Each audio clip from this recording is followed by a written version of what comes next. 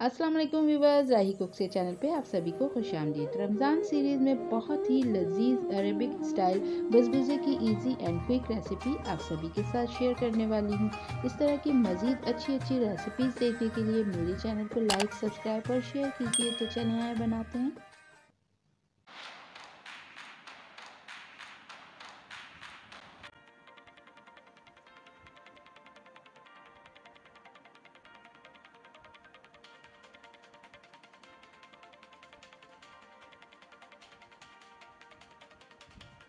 बजबूज़ा बनाने के लिए यहाँ पर मैंने सूजी ली है, तकरीबन 250 ग्राम। आप भी बारीक वाली सूजी लेना, मैंने भी बारीक वाली ही ली है, ठीक है? इसमें तकरीबन मैंने आधा कप के जितना पिसी हुई चीनी का इस्तेमाल किया है। पिसी हुई चीनी ही इसमें शामिल होगी।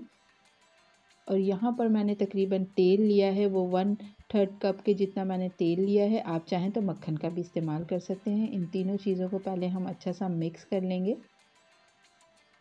तो यहाँ पर ये देखें अच्छा सा हमने करना है इसको मिक्स ताकि ये दोबारा से एक दरदरा सा जो है हो जाए फिर से ये। ये देखें, यहाँ पर ये दरदरा सा हो गया ना तो अब इसमें शामिल करना है हमने पिसा हुआ खोपरा। आपने पिसा हुआ खोपरा ही इसमें शामिल करना है, ठीक है? फिर इसको भी हमने इन सब चीज़ों के साथ मिक्स करना है और जितनी मेज़रमेंट आपको बताई गई है, आप उसी हिसाब से बनाएँगे तो आपकी हर चीज़ अच्छी बनेगी परफेक्ट बनेगी। तो यहाँ पर हमने जो है ना एक कप दूध शामिल करना है और एक इसको लिक्विड बनाना है। बहुत ज़्यादा लिक्विड नहीं करना है नॉर्मल होना चाहिए। मैं आपको इसकी कंसिस्टेंसी बता दूँगी कि कितनी होनी चाहिए, क्योंकि बेकरी के आइटम जो है, हम जब भी बनाते हैं तो उसके लिए हमें मेज़रमेंट बहुत ज़रूरी होता है। अब जो है हमने इसको पाँच से छः मिनट तक मुसलसल इसी तरह से जो है ना मिक्स करते रहना है, ताकि सूजी हमारी थोड़ी सी फूल जाए।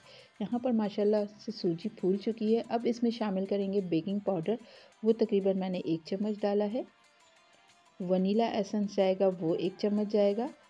ये दोनों चीज़ें डालने के बाद भी हमने थोड़ा सा इसको करना है अच्छा सा मिक्स यहाँ पर हम इसको पाँच मिनट तक और मज़ीद जो है ना वो मिक्स करते रहेंगे, ताकि तमाम चीज़ें यकजा और ये देखें, इसकी कंसिस्टेंसी आप चेक कर लें कितना है, बहुत ज़्यादा गाढ़ा भी नहीं है और बहुत ज़्यादा पतला भी नहीं है।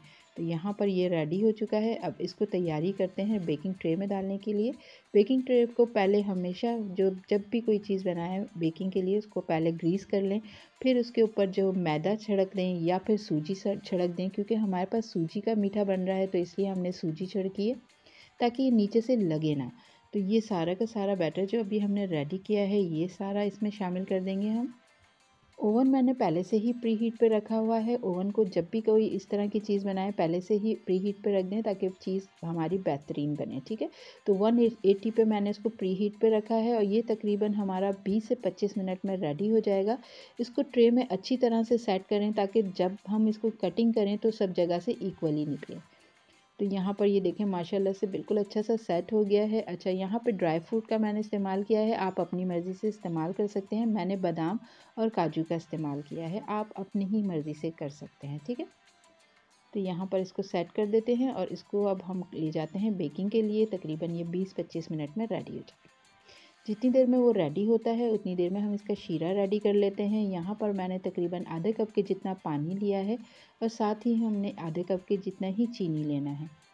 एक छोटा टुकड़ा मैंने इसमें लेमन का भी डालना है। पहले इसको मिक्स कर लेंगे। फिर इसमें हम लेमन का एक छोटा टुकड़ा डालेंगे और साथ ही हम ये यहाँ पर केवड़ा वाटर डालेंगे एक चम्मच के करीब और इसको अच्छा सा मिक्स कर लेंगे। इसमें तार नहीं आना चाहिए, बस हल्का सा मिक्स करना है और थोड़ा सा पकाना है। तो ये परफेक्ट हो चुका है, इसको भी हम साइड पे करते हैं।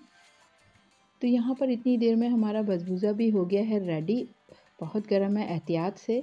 अब ये जो हमने शीरा रेडी किया है, वो इसमें शामिल करेंगे और ये पूरा का पूरा शीरा इसमें जाएगा, ठीक है? अच्छा यहाँ पर मैं आपको बताती चलूँ कि बजबूज़ा जो है वो एक अरबिक डेज़र्ट है। इसको हम जो है ना सूजी का केक भी कहते हैं। और ये बहुत मज़े का बनता है। एक बार ज़रूर बनाइएगा। मेरे तरीक़ेकार से आपको बहुत पसंद आएगा। बहुत इन्जॉय करेंगे। तो यहाँ पर देखें, शीरा भी माशाल्लाह से सारे का सारा चला गया है। शीरा डालने के बाद अब हम इसमें कट्स लगाएँगे और ये तकरीबन आधे घंटे तक इसको हम ऐसे ही रेस्ट पे रखेंगे ताकि शीरा अंदर तक जाए। ठीक है? तो यहाँ पर ये डिश बहुत मज़े की बनती है। आप लोगों ने ज़रूर बनाना है और फिर मुझे बताना है कमेंट्स में कि आप लोगों की ये डिश कैसी बनी है। इन्जॉय किया कि नहीं किया? आप किसी भी मौके पे बना सकते हैं तो इतने मज़े की और इतनी जल्द बन जाने वाली ये डिश है कि मैं बता नहीं सकती हूँ। थोड़ा सा शीरा बच गया था तो मैंने ऊपर भी इसे लगा दिया। तो लीजिए जनाब, ज़बरदस्त सा बजबूज़ा हो गया है आपका रेडी। इंजॉय कीजिए इस रेसिपी को। फिर मिलेंगे इन एक नई रेसिपी के साथ। अपना बहुत ख्याल रखिएगा दुआओं में याद रखिएगा। अल्लाह हाफिज़।